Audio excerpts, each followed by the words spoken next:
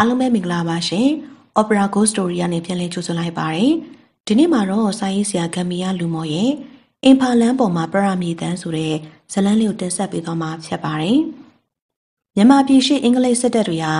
1942ခုနှစ်မှာစစ်စင်ရေးဖြူကအရာနောက်တန်းကိုစောက်ခွာပေးရမယ်ဆိုတဲ့အထက်မှာအမိန့်ကြောက်ရောက်တာကြောင့်စောက်ခွာကြတဲ့အခါဂျပန်စစ်တပ်တွေနှောင့်နှေးစေဖို့အတွက်အင်းဝစကိုင်းအေယာဝတီမြစ်ကူးတံတားကြီးအလဲပဟို ဂုံးနံပါတ်၄ဂုံးဆက်ကြီးကိုမိုင်းခွဲဆုတ်ခွာသွားကြတယ်။အင်္ဂလိပ်စစ်ကြောင်းတွေကစကိုင်းမှာချင်းပြည်နေဆက်အင်ဖာလန်ကိုအုံပြုဆုတ်ခွာသွားကြတာဖြစ်လို့အဲ့ဒီအင်ဖာလန်ကလူသိရှင်ကြားဖြစ်လာခဲ့တယ်။အင်္ဂလိပ်စစ်တပ်တွေအလင်းစလိုဆုတ်ခွာသွားကြရတော့အဲ့ဒီအင်ဖာလန်မကြီးပေါ်မှာစစ်သုံးပစ္စည်းများကိုစွန့်ပစ်သွားကြတယ်။လွတ်လပ်ရေးရှာပြီးရတဲ့ဒေသခံလူတချို့ကအကျွင်းအကြံတန်တဲ့ပစ္စည်းတွေကိုတည်ပိုးပြီးတော့အိန္ဒိယနယ်စပ်ကိုတွားရောက်ရောင်းချကြတယ်။ ထန်ကိုလျန်ကလည်းအဲ့ဒီတန်တဲ့ပစ္စည်းကိုဖျက်ကောက်ယူငင်ပြီးတော့အများနည်းတို့တွားရောက်ရောင်းချတယ်။အပြက်မှမိုးရင်းနဲ့တမူးမှစင်ကအချုပ်ဆက်နဲ့စီးပုံတစိတ်တမီးတော်အချုပ်ဆက်တွေဝယ်ယူပြီးတော့ကလေးဝါမှဥတာအုံနဲ့မုံရွာကိုဖြန့်ချီနိုင်လို့စီးပွားဖြစ်နေတယ်။ထန်ကိုလျန်ကမုတ်ဆိုးပီအောလွယ်ကိုဥဆောင်စေပြီးတော့လောက်ကင်ခဲ့တာကြောင့်တန်တဲ့ပစ္စည်းတွေပို့ပြီးတော့ရရှိခဲ့တယ်။ပီအောလွယ်ကိုအဖော်လေးယောက်ထည့်ပြီးအင်ဖာလန်းကိုလွှတ်လိုက်ပြီးတော့ နန်ကစီးမှာဥတာအုပ်ကိုစောင့်နေခဲ့တာက၃ရက်ခန့်ရှိပြီဖြစ်ပါတယ်။ဥတာအုပ်ကတန်တဲ့ဖြက်ပစ္စည်းတွေနဲ့ရောက်လာပြီးတော့မပြောချင်ပါဘူးထန်ကိုလျံရာခမ်းဘက်ကိုဝင်ပြီးလိုချင်တဲ့ပစ္စည်းကိုရှာဝယ်နေလို့နှစ်ရက်လောက်နောက်ကျသွားတယ်လို့ပြောတယ်။လိုချင်တဲ့ပစ္စည်းရရင်ပြီးတာပါပဲဥတာအုပ်ရဲ့။အေးဒီမှာကြည့်လေကွာ။ဥတာအုပ်ကပစ္စည်းတွေကိုထုတ်ပြလိုက်တယ်။ကျွန်တော်ပြောလွယ်ကိုအဖော်လေးယောက်ထည့်ပြီးလွတ်လိုက်ရပြီဗျ။ခမရဲ့တူတော်မောင်ဖူးထင်လဲပါသွားလေရဲ့။ ပြောလွယ်နေဆိုတော့ငါစိတ်ချပါတယ်ကွာ။ချက်ကိုးနဲ့အင်းမင်ကိုင်းကြားမှာစပရင်ကားပြက်လေးတစ်စီးခြုံတွေတဲမှာတွေ့ထားပြီလို့ပြောလွယ်သတင်းပေးလာတာကြောင့်အလင်းစလို့လွတ်လိုက်ရတာပါ။ပြောလွယ်ကအင်ဖာလန်ကိုကျွမ်းနေသူမဟုတ်လား။ဒီတခါပစ္စည်းများများဆဆရနိုင်ပြီးတန်ကောင်းနေဆိုတော့ဝယ်လက်ကဈေးကောင်းကောင်းပေးမှာဗျ။ဈေးကောင်းရတော့ပစ္စည်းပိုဝယ်လို့ရတာပေါ့ကွာ။ဥတာကိုရောက်လာပြီဆိုတော့ပြောလွယ်တို့နောက်ကိုလိုက်သွားဖို့ပဲရှိတယ်။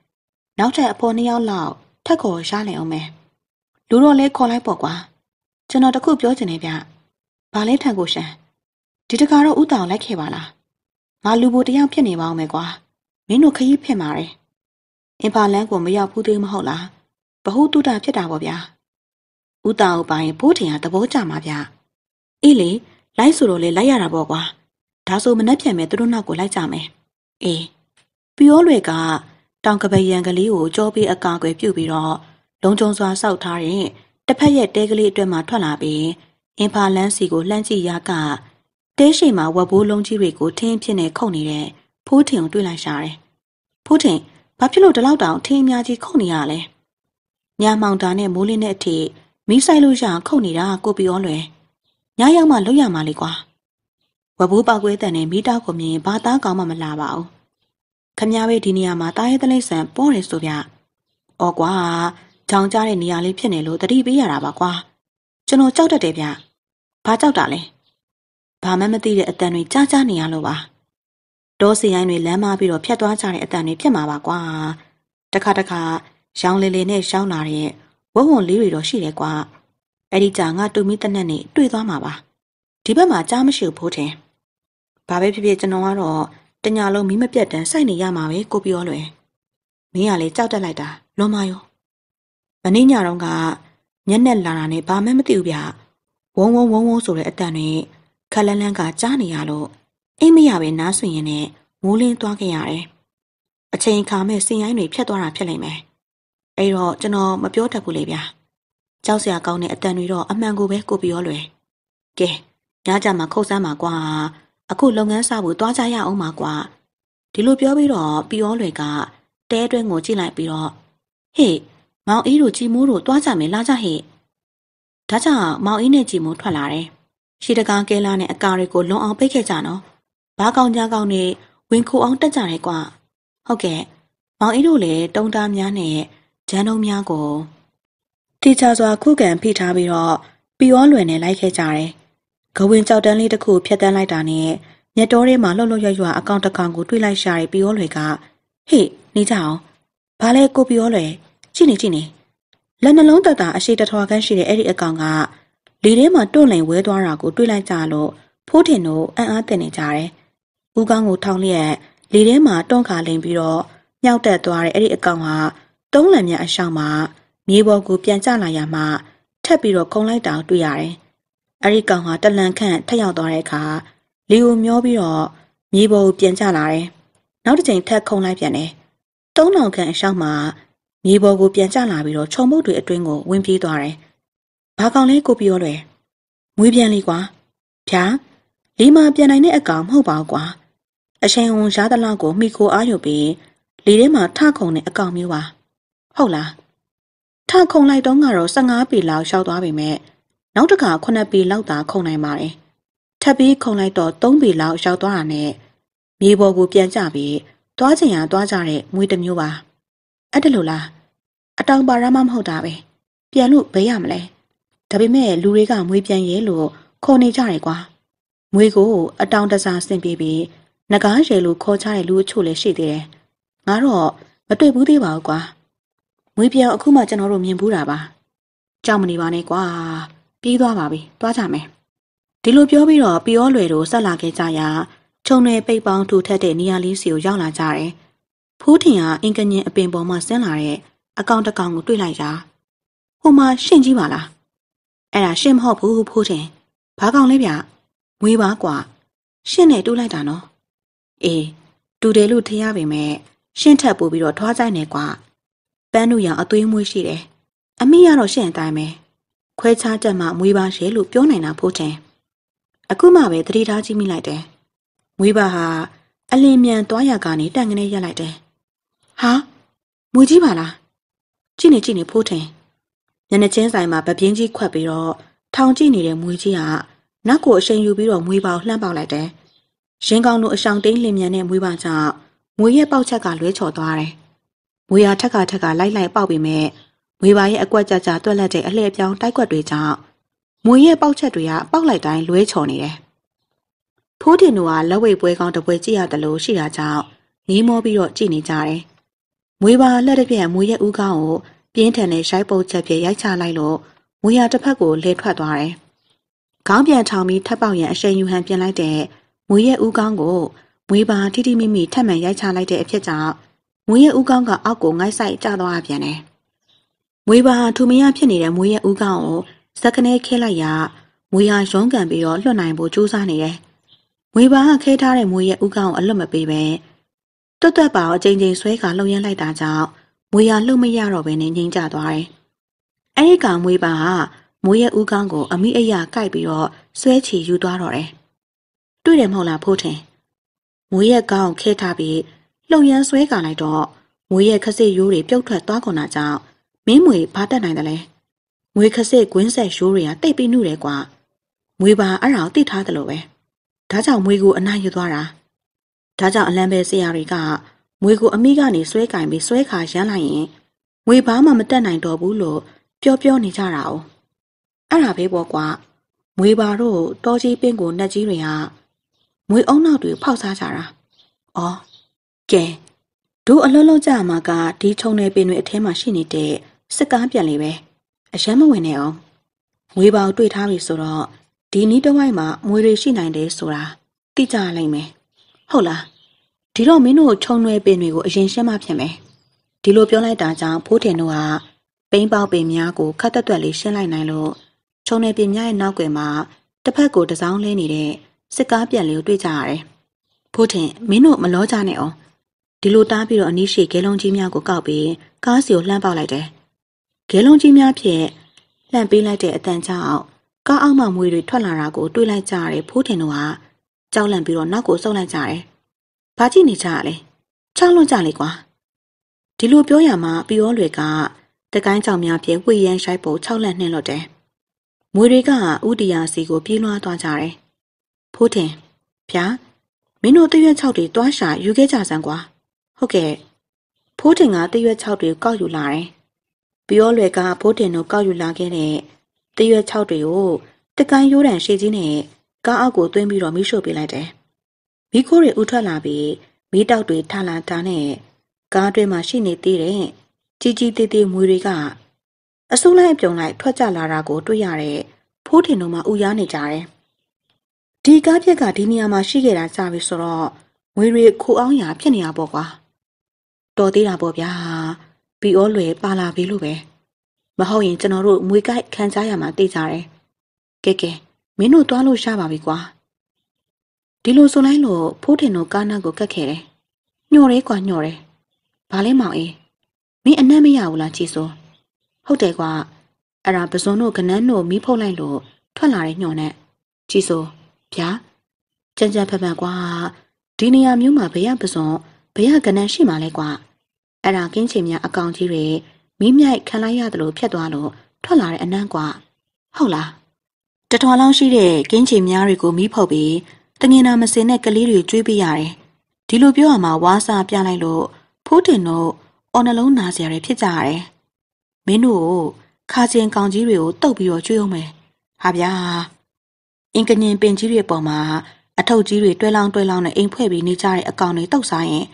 ချင်းပြုံးပြုံးနဲ့ မကြီးရွက်အနုကလေးတွေတုတ်စားရတယ်လို့ပဲအဲဒါကြောင့်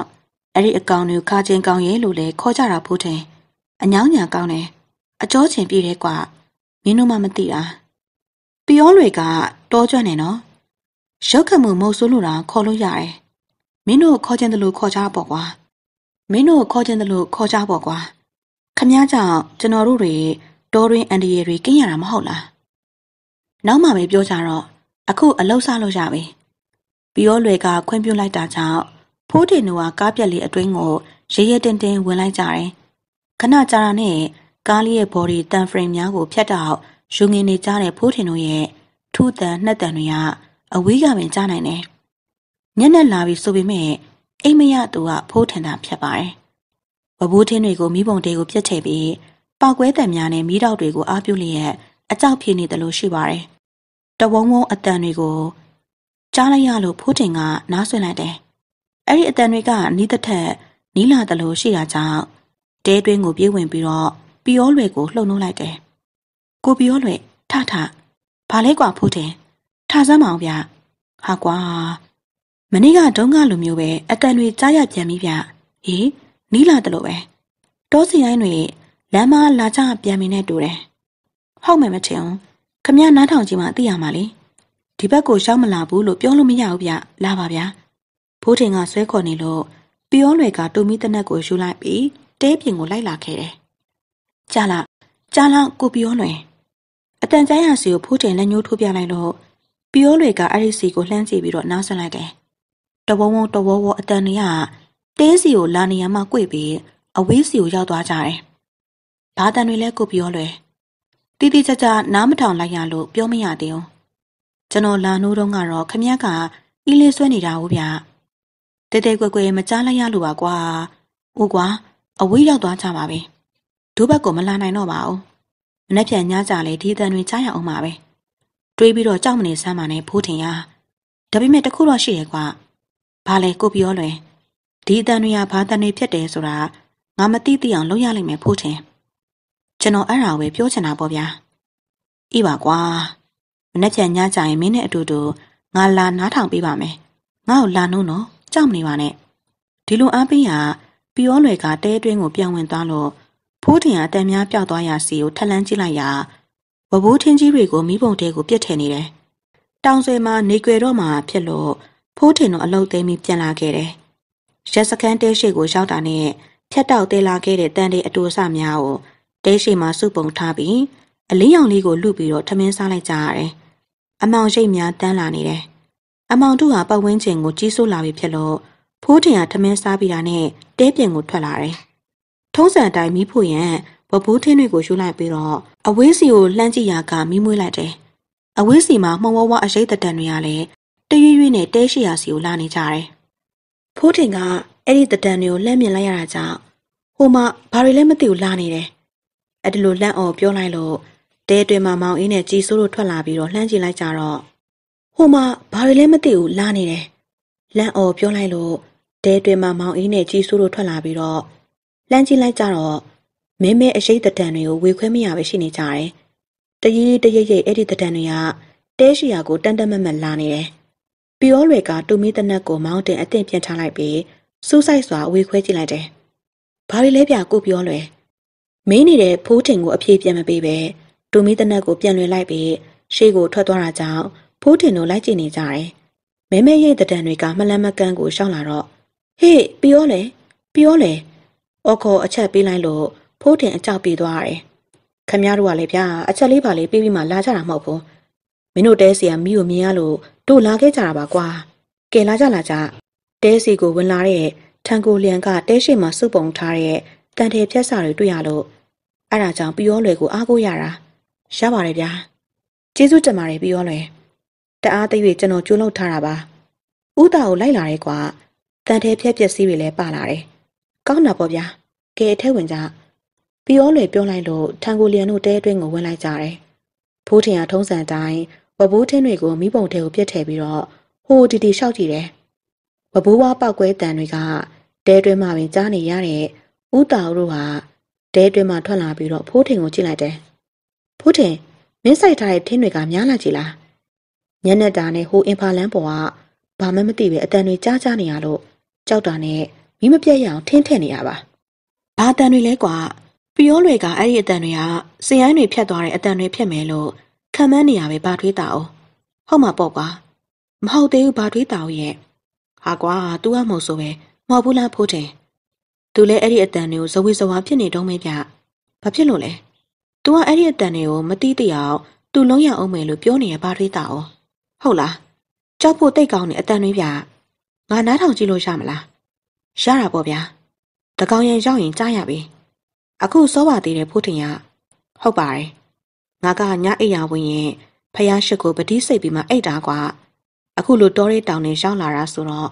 ငါပို့ပြီးလုံးရမယ်။အန်ဒီရဲ့ကင်းတာပေါ့ကွာ။ဘာထွေးတာကိုလှုပ်ရှားရှိရလို့ပါ။အတန်ကြားရင် ကျွန်တော်လာခေါ်ပါမယ်။ ကောင်းတာပေါ့ကွာ။နေ့စဉ်လုပ်တဲ့ငါအလုပ်ကိုငါဝေးအပြတ်မခံနိုင်ဘူး။ဒီလိုပြောပြီးတော့တဲတဲကိုဝင်သွားတယ်။ခုနှစ်စင်ကျဲအပြည့်တွေ့တန်းလျက်တကောင်ရညအချိန်ဆိုတာကိုသိထားတဲ့ဖိုးထင်ဟာကောင်းကင်ကိုမောကြီးကနားဆွနေတယ်။လေတန်တွေနဲ့အတူဝေါဝေါဆိုတဲ့အဝေးစီမှာအတန်တွေကိုတက်တက်ကြားလိုက်ရတဲ့ဖိုးထင်ကတဲတွင်းကိုပြေးဝင်ပြီးတော့ဥတာအုပ်ကိုနှုတ်လိုက်တယ်။ထထဘာထွေးတာအောင်ဟေးအတန်တွေကြားရပြီဗျ။ဟုတ်လား လာပါဘာထွေးတာအောင်အေးအေးဖိုးထင်နောက်ကိုထားလိုက်သွားတဲ့ဥတာအုပ်ကိုထန်ကိုလျံနဲ့ပြောလေတို့ကတွေးလိုက်ကြတာကြောင့်ဥတာအုပ်တို့နောက်ကိုထားလိုက်လာကြတယ်။တဲပြင်မှာကြားလာကြားလာဖိုးတင်လက်ညှိုးထိုးပြရစီကိုဥတာကိုလှမ်းကြည့်လိုက်ပေမဲ့အမောင်တို့ကြောင့်ဘာရိပ်ရောင်မှမတွေ့ရပဲရှိနေတယ်